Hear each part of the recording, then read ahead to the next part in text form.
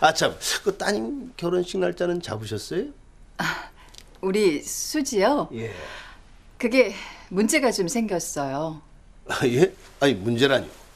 형민 군이 제니퍼와 결혼을 하겠대요. 예? 아니 그게 무슨 말씀이세요? 제니퍼는 우리 서원이랑 지금 교제 중인 걸 알고 있는데. 아니에요. 심지어 제니퍼를 집으로 데리고 들어갔어요. 결혼도 하기 전에 신혼방까지 만들어 줬다는데요. 아니 그럴 수가. 아, 미녀사는 저한테 그렇게 얘기 안 했는데요. 아니요. 우리 모두 뒤통수를 맞은 거예요. 아니 그럴 수가 있나? 강 회장이 나한테 이런 식으로 대하면 안 되지.